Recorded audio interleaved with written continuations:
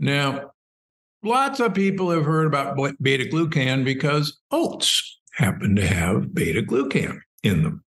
But oats have a beta glucan that actually isn't very usable to our gut microbiome. Hmm. And so uh, mushrooms, excuse me, have a branched beta glucan, and oats have a single non-branched beta glucan. And really cool studies, uh, particularly in rodents, but also in humans, show that the beta glucans in mushrooms are what do all the good.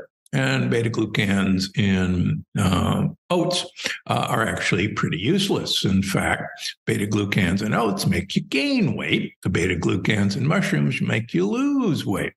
And these